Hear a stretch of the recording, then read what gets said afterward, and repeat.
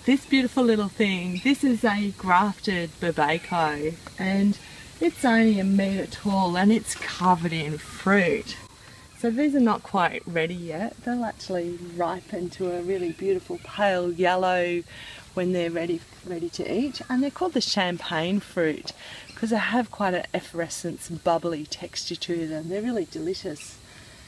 If you live in Victoria and you really love the idea of growing pawpaws, which are not well suited to your climate, this is a great alternative. So it's quite different to a pawpaw, but it does grow in those cooler climates much better than a pawpaw does. And as you can see, it also does really well in the subtropics. So the reason we graft these is Babacos have a tendency to having root rot problems and that's because they require perfect drainage. So if you're planning on growing a Babaco, the most important thing that you need to provide your tree with is a really well drained site.